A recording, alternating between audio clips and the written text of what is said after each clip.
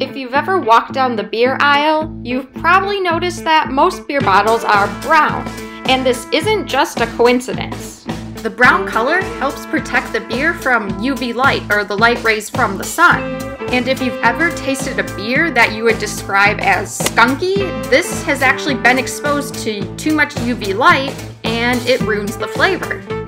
And the beer industry even has a term for this type of defect. They'll call it light struck or sunstruck beer.